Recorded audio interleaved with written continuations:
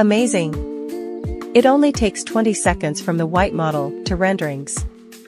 Today I will introduce a super easy to use AI plugin called SUAPP First import the model. Select rendering type.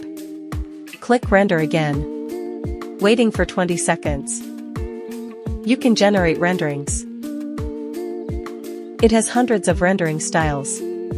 You can get any result you want. Click Save. You will get UHD pictures. This is a comparison of before and after pictures.